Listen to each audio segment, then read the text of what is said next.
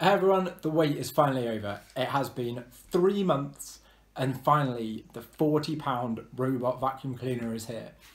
Now, I use the word vacuum cleaner probably a little bit generously, but you know, it is what it says there. As you can see, it has arrived in what I would call subpar condition, at least for the box. Kind of hoping when we get inside it, it's alright. But let me just give you a bit of a read of what's on the box. Uh, robotic vacuum cleaner is an intelligent electric omnidirectional cleaner with the functions of vacuum, sweeping and mopping. It's able smooth and smooth ground to work freely, cleans all directions, cleans with low noise and does not make noise. Not sure which one. It has long endurance, small stature and large energy, saves time and labour and creates comfortable space for you. I mean that all sounds pretty good. Um, however, on this side, the cleaning functions that are listed with all the specs are sweep the floor, mop the floor, dust. So nothing about actual vacuuming on that side and 55 decibels for the working noise, which seems less than no noise at all. Uh, it runs for 90 minutes and it takes three hours to charge. Excellent.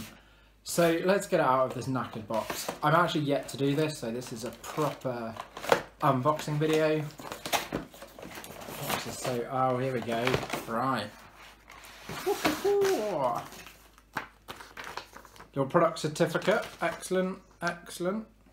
Oh, it does have a dust box cover, which is exciting, which means it might actually do some hoovering. Some vacuuming, I should say, not a product placement.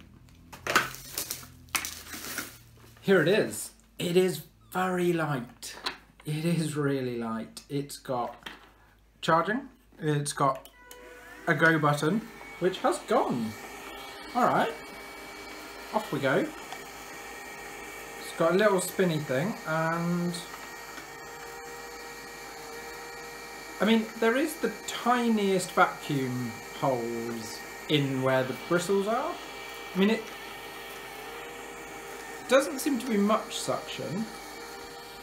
Or is that the suction? I'm not sure. There is a tiny bit that I can tell from, but you know, that's all right. What have we got in here?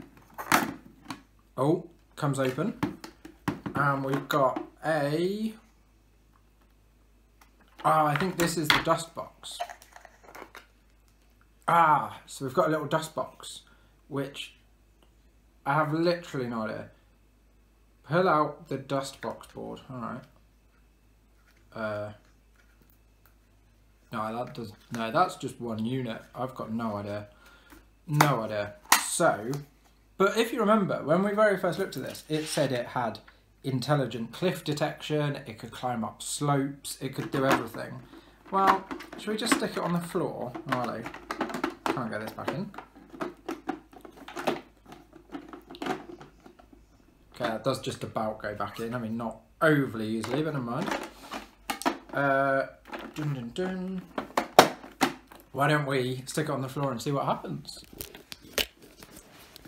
Here we go. Don't know what to call it quite yet. But go, little wonder, go! Oh, you know, it's, um...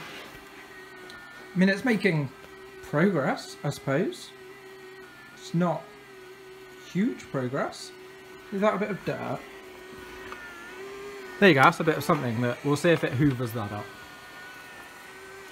Nope, it's going to avoid it. It's going to avoid it.